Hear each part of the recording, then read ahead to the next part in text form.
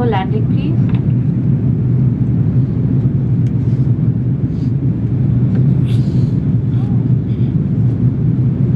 Also, ladies and gentlemen, once again, it's a safety requirement that we dim the cabin lights for our landings and takeoffs actually into darkness. So if you wish to uh, continue reading, please just locate the light switch on the handset in your seat. Thank you.